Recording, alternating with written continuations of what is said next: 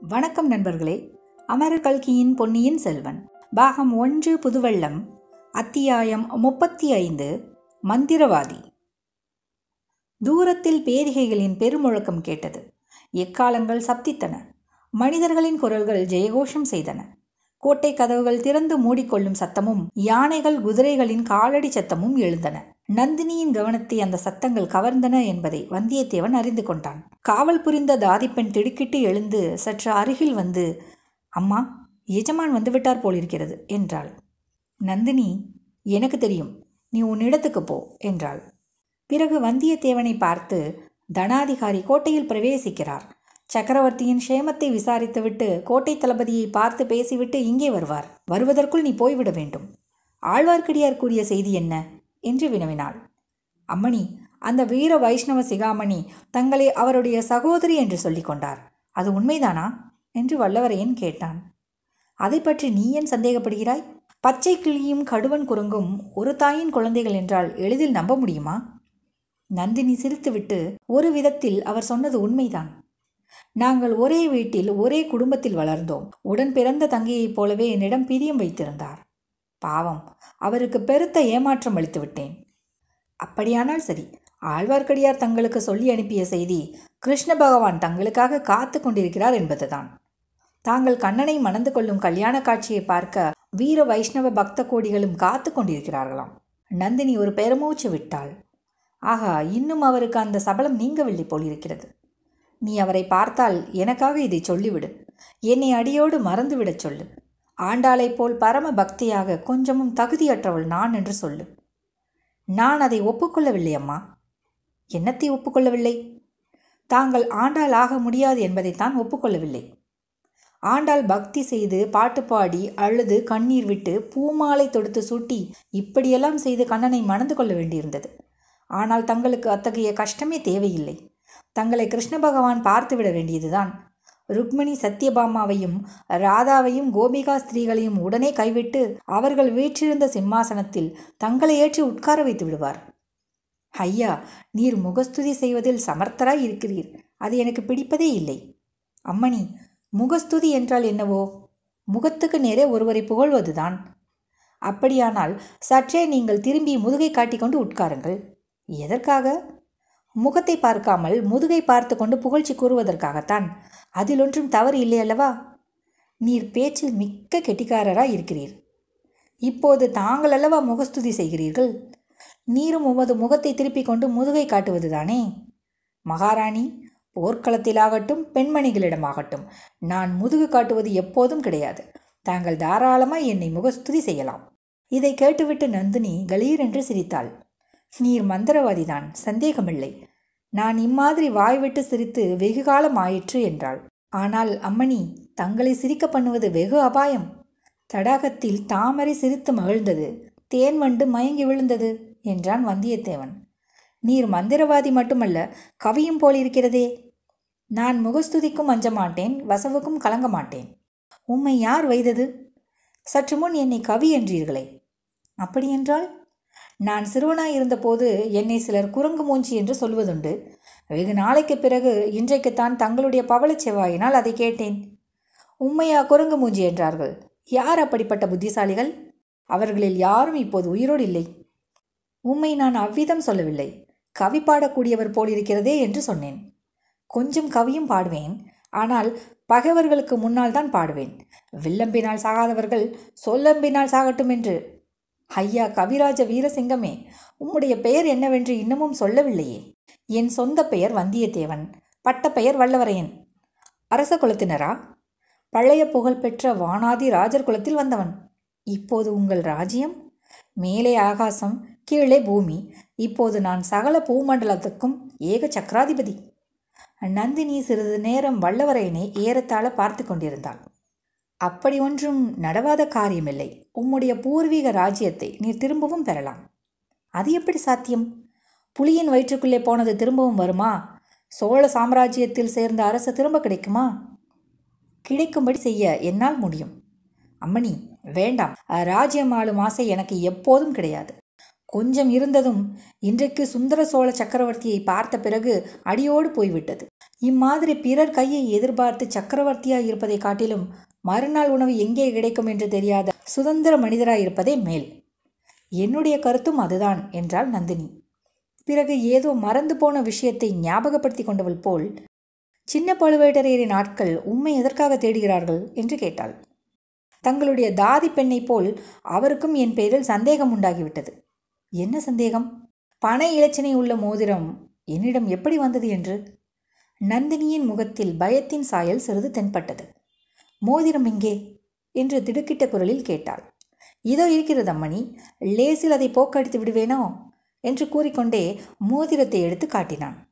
இது உம்மிடம் இருப்பது அவருக்கு எப்படி தெரிந்தது? என்று நந்தினி கேட்டாள். சுந்தர சோழ சக்கரவர்த்தியை பார்க்க வேண்டும் என்ற ஆசை என் மனதில் நெடுநாளாக இருந்தது. அதற்கு இந்த முத்திரை மோதிரத்தை உபயோகப்படுத்தி கொண்டேன். பார்த்து முடித்த பிறகு இந்த மோதிரம் என்னிடம் எப்படி வந்தது? என்று கோட்டை தளபதி கேட்டார். நீர் என்ன சொன்னீர்? என்று நந்தினி வினவிய குரலில் திகில் துணித்தது. தங்கள் பெயரை சொல்லவில்லை அம்மணி. பெரிய பழுவேட்டரையர் கொடுத்தார் என்று சொன்னேன். நந்தினி பெருமூச்சு விட்டாள். அவள் முகத்திலும் குரலிலும் இருந்த திகில் நீங்கியது. நீர் சொன்னதை அவர் நம்பினாரா? என்று கேட்டாள். முழுவதுமாக நம்பியதாக தெரியவில்லை. அதனால்தானே என்னை பின்தொடரும்படி ஆட்களை விட்டிருக்க வேண்டும்? தமையனார் திரும்பி வந்ததும் என்னை அவர் முன்னால் நிறுத்தி உண்மையை அறிய எண்ணியிருக்கலாம் என்றான் வந்தியத்தேவன். நந்தினி புன்னகை புரிந்து பெரிய பழுவேட்டரையரிடம் நீர் பயப்பட வேண்டாம். அவர் உம்மை கடித்து தின்றுவிடாமல் நான் பார்த்து கொள்கிறேன் என்றாள்.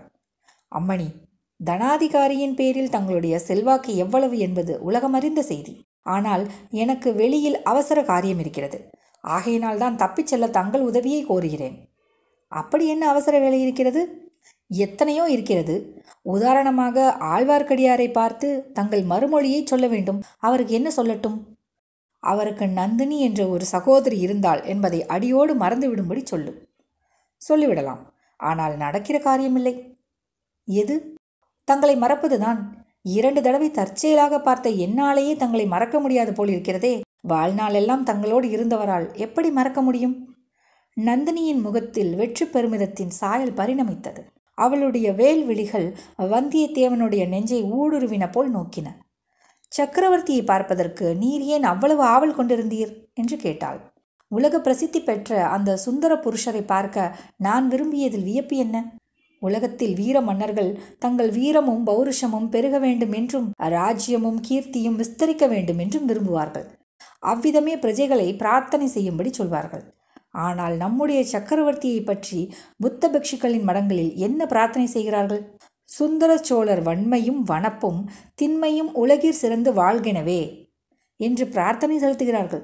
இத்தகைய கலியுக மன்மதனை பார்க்க வேண்டும் என்று எனக்கு வெகு நாளாக ஆசை இருந்தது. ஆமாம் சக்கரவர்த்திக்கு தம்முடைய அழகை பற்றி ரொம்ப பெருமைதான். அவருடைய செல்வகுமாரிக்கு அதைவிட அதிக கர்வம். குமாரியா யாரை சொல்கிறீர்கள்? பழையாறையில் இருக்கிறாளே ஒரு அகம்பாவம் பிடித்த கர்வி. அந்த இளைய பிராட்டி குந்தவை தேவியைத்தான் சொல்கிறேன். வந்தியத்தேவா நீ அதிர்ஷ்டக்காரன். நீ தேடிக்கொண்டிருந்த உபாயம் இதோ உன் முன்னால் தானே வந்து நிற்கிறது. அதை நன்கு உபயோகப்படுத்திக் கொள் இவ்வாறு வல்லவரையன் தனக்குத்தானே சொல்லி கொண்டான் இத்தனை நேரமும் ஒய்யாரமாக படுக்கையில் சாய்ந்து படுத்திருந்த நந்தினி திடீரென்று எழுந்து நிமிர்ந்து உட்கார்ந்தாள்.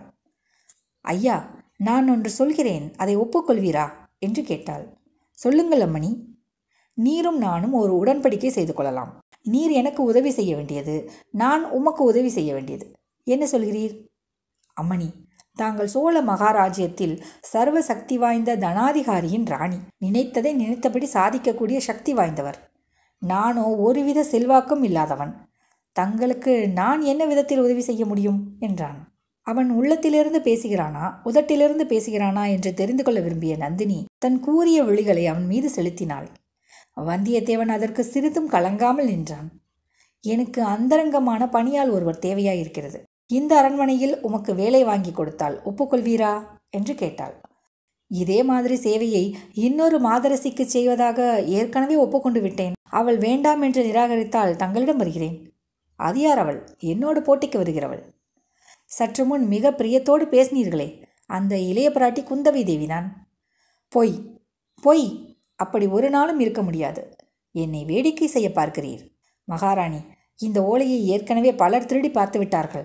ஆகையால் தாங்களும் இதை பார்ப்பதனால் மோசம் ஒன்றும் வந்துவிடாது என்று சொல்லிக்கொண்டே வந்தியத்தேவன் ஆதித்த கரிகாலர் குந்தவைக்கு கொடுத்த ஓலையை எடுத்து நீட்டினான். நந்தினி ஓலையை விளக்கின் அடியில் பிடித்துக்கொண்டு படித்தாள். படித்து முடித்தபோது அவளுடைய கண்களில் இருந்து கிளம்பிய மின்னல் ஜுவாலை நாக சர்ப்பத்தின் வாயிலிருந்து வெளிவந்து மறையும் அதன் பிளவுபட்ட நாவை வந்தியத்தேவனுக்கு நினைவூட்டியது. அவனை அறியாமல் அவன் உடம்பு நடுங்கியது. நந்தினி கம்பீர பாவத்துடன் வந்தியத்தேவனை பார்த்து ஐயா நீர் இந்த கோட்டையிலிருந்து உயிரோடு தப்பிச் செல்ல எண்ணுகிறீர் அல்லவா? என்று கேட்டாள். ஆமம்மா அதற்குத்தான் தங்கள் உதவியை நாடி வந்தேன். ஒரு நிபந்தனையின் பேரில்தான் உம்மை தப்பித்து விட நான் உதவி செய்யலாகும். நிபந்தனையை சொல்லுங்கள். இந்த ஓலைக்கு குந்தவை என்ன மறு ஓலை கொடுக்கிறாளோ அதை மறுபடியும் என்னிடம் கொண்டு வந்து காட்ட வேண்டும். சம்மதமா?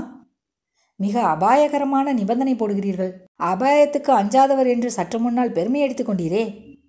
அபாயத்துக்கு துணிவது என்றால் அதற்கு தகுந்த பரிசு கிட்ட வேண்டுமல்லவா? பரிசா? பரிசா வேண்டும். நீர் கனவிலும் அடைய கருதாத பரிசு உமக்கு கிடைக்கும். சோழ சாம்ராஜ்யத்தில் இன்று சர்வ சக்தி வாய்ந்தவராய் விளங்கும் பெரிய பழுவேட்டரையர் எந்த பரிசுக்காக வருஷக்கணக்காக தவம் கிடைக்கிறாரோ அத்தகைய பரிசு உமக்கு கிடைக்கும் என்று கூறி நந்தினி வந்தியத்தேவன் பேரில் மறுபடியும் மோகனாஸ்திரத்தை தூவினாள்.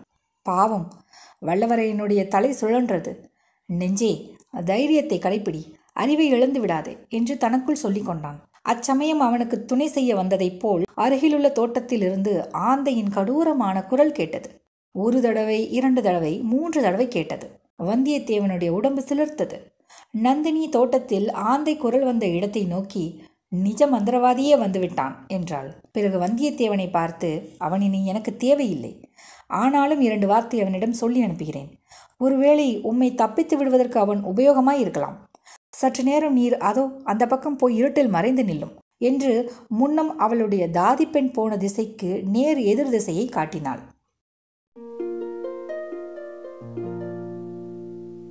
அத்தியாயம் முப்பத்தி ஐந்து. நிறைவுற்றது.